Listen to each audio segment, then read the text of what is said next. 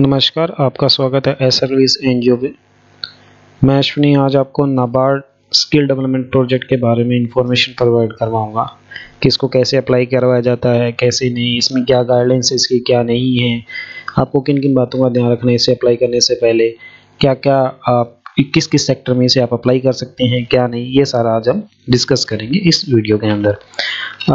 नाबार्ड की full form है National Bank Agriculture and Rural Development ये नाबार्ड एक अलग से डिपार्टमेंट है, जो मिनिस्ट्री का है। इसे गवर्नमेंट के अंडरटेकिंग आता है। इसमें काफ़ी सारे अलग अलग डिपार्टमेंट्स हैं नाबार्ड के। उसी में एक नाबार्ड ग्रांट देती है स्किल डेवलपमेंट में। ये स्किल डेवलपमेंट में इस इसमें फाइनेंशियल असिस्टेंट मिलता है, यानी अपने को ग्रांट मिलती है रूरल एरिया में। बच्चों को पढ़ाने के लिए। इसमें लगभग सभी ट्रेड्स इंक्लूड होती है, जो स्किल डेवलपमेंट की जितने भी ट्रेड होती है, वो सब इंक्लूड होती है। और इसमें क्या होता है कि इसमें पर्टिकुलर पर कैंडिडेट के हिसाब से इनको पेमेंट मिलती है। कि बच्चे को आपको पहले एजुकेट करना है, फिर उसकी प्लेसमेंट करनी है।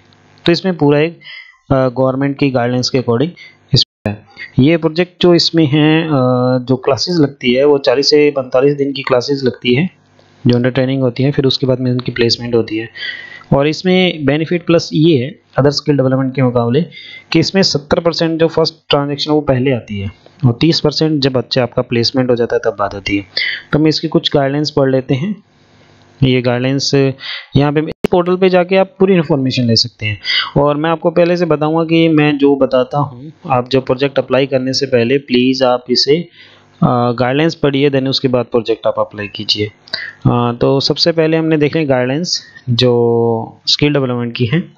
इसमें आप सभी प्रकार के डिपार्टमेंट ये प्रोजेक्ट लगा सकते हैं एनजीओ लगा सकते हैं स्किल लोन ये जो ट्रेनिंग पार्टनर्स हैं मॉडल्स हैं, ये आप इनमें लगा सकते हैं। जैसे एनजीओ लगा सकता है कॉरपोरेट पार्टनर लगा सकता है।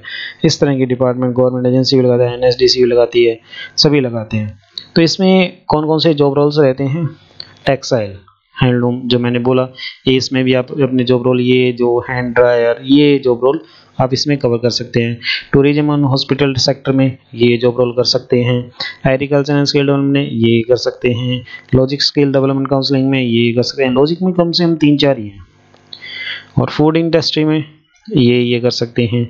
और लेदर सेक्टर स्किल काउंसिल में ये अपैरल में ये, उसके बाद में automatic automatic skill development counselling में। बाकी ये सर गवर्नमेंट एजेंसी है कौन कौन सी गवर्नमेंट एजेंसी इसमें आपको लगती हैं कौन कौन सी एन क्या है ये आपको इसमें आप देखते हैं। एनजीओ के लिए एजिबिलिटी क्राइटेरिया क्या है। वॉल्टियर एजेंसी एजेंसी ट्रस्ट ये लगा सकते हैं एनजीओ में। ये आप गाइडेंस पढ़ लीजिए इतनी कोई खास नहीं है। आ, ये रह जाएगा। फिर उसके बाद में मॉडल्स आ गए इनके। क्या रहेगा? फिर आप इसकी चेकलिस्ट ज़रूर पढ़ लीजिएगा, क्योंकि चेकलिस्ट के बेस पे ही आप इस पर प्रोजेक्ट लगा सकते हो। आप अपने इस पर डिस्कस करना ये चाहेंगे कि कैसे आप इसे अप्लाई कर सकते हैं। सबसे पहले आप रजिस्टर करोगे। रजिस्टर करने के बाद आपको लॉगिन आईडी पासवर्ड मिल जाए। उस लॉगिन आईडी पासवर्ड को लगा के आप ये प्रोजेक्ट इसमें दो ऑप्शन आता है। एक तो नैप स्किल आता है, एक माइक्रो क्रेडिट इनोवेशन डिपार्टमेंट आता है। आपको नैप स्किल पे जाना है, जो उस पर क्लिक करना है क्लिक कंटिन्यू इस पे जाओगे तो आप यहाँ पे आपको ये ऑप्शन आएगा। ये मैंने एक डमी क्रिएट की हुई है आपको समझाने के लिए। हम्म, ये पोर्टल थोड़ा हेवी पोर्टल है इसके लिए थोड़ी प्रॉब्लम्स आ रही है। इस तरह का पोर्टल आपका एजेंसी टैक्स बोर्ड आ जाएगा। तो ये स्किल है इसमें ये ऑप्शन आता है सारे। Home apply to assistant application apply to claim claims profit profile setting ये आ गई इसमें क्या है ट्रेनिंग प्रोग्राम कितने आप ट्रेनिंग प्रोग्राम कैंडिडेट ट्रेन कितने हुए हैं टोटल सीटेड कितनी हैं, वैसे एम्प्लॉय कितने हैं सेल्फ एम्प्लॉय कितने हैं क्रेडिट लिंकेज कितने हैं, ये सारा इतना आ गया। इसमें आपको प्रोजेक्ट जैसे कि मैंने इसमें एक, अभी स्टार्टिंग इसका लगा रहा हूँ, जो हमारे पास एक क्लाइंट आए हैं, उनका हम प्रोजेक्ट लगा रहे हैं। तो मैं आपको बता देता हूँ कैसे क्या गाइडेंस इनकी।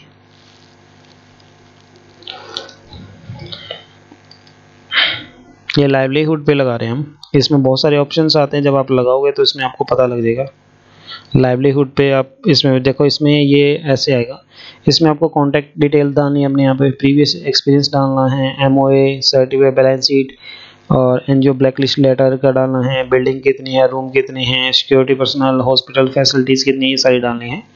उसके बाद में brief discussion of the proposal मतलब आपको पूरी ब्रीफ डिस्कशन डालना है प्रपोजल का। कि आप प्रपोजल का आपका एम क्या है मिशन क्या है ऑब्जेक्टिव क्या है, ये डालना है। कंटेंट ऑफ़ दैट एक्टिविटी मतलब आप जब करोगे इसमें क्या क्या आपकी एक्टिविटी रहेगी, क्या क्या नहीं है। Object of the proposal objective होता है कि आपके ऑब्जेक्टिव क्या क्या हैं प्रपोजल के। प्रोजेक्ट स्कोप ऑफ़ डेमोग्राफी इसका प्रोजेक्ट फ्रेमवर्क क्या रहेगा। एक्सपेक्ट आउटकम्स क्या रहेंगे। फाइनेंशियल असिस्टेंट कितनी चाहिए आपको। ये कंट्रीब्यूट आप अपनी तरफ़ से कितना कंट्रीब्यूट करोगे। ठीक है, ये प्रोजेक्ट आ जाएगा। स्पॉन्सर बैंक कौन सा लगाओगे? बैंक ये लगाओगे, ये डिटेल्स आ गई, उसके बाद में आपको कॉस्ट डिटेल आ गई। कॉस्ट डिटेल कौन से जॉब रोल्स होंगे, कितने मतलब आवर्स का ये आपको पूरे देख के यहाँ पे मेंशन सबमिट कर देना है। सबमिट करने के बाद आपको प्रॉपरली यहाँ पे मॉनिटरिंग होती रहेगी प्रोजेक्ट की। आप तो उसके बाद में आप प्रॉपरली इसका अपडेट ले सकते हो कि हमारे प्रपोजल का, ये देखो, इसमें यहाँ पे ऐसे ऑप्शन आ जाएगा। नंबर ऑफ़ द हॉस्पिटल कितने हैं सारे, इसको नेक्स्ट सेव कर दोगे। तो इसमें होगा नहीं शायद इसमें फिलअप करना पड़ेगा। तो ये आ जाएगा। ठीक है जी? अगर आपको ये प्रोजेक्ट लगभग गवर्नमेंट है ये ऑनगोइंग प्रोजेक्ट है ये हमेशा चलता रहता है तो ऑनगोइंग प्रोजेक्ट होता है ये। ये देख लो लॉगिन पोर्टल है इसका यहाँ से ऐसे देख लीजिएगा। ठीक है सर? आ, बाकी आपको सारा समझ में आ गया होगा आई थिंक अगर आपको कोई प्रॉब्लम या कोई क्वेरीज हो तो प्लीज़ आप मुझे नंबर पे कॉल कर सकते हैं या मेल कर सकते हैं। ठीक है? ओके सर आ, हम जल्दी लेके आएँगे एक न्यू प्रोजेक्ट की वीडियोस ठीक है? प्लीज़ सर इस वीडियो को लाइक सब्सक्राइब एंड शेयर ज़रूर कर दीजिएगा। ओके सर बाय फिर मिलते हैं।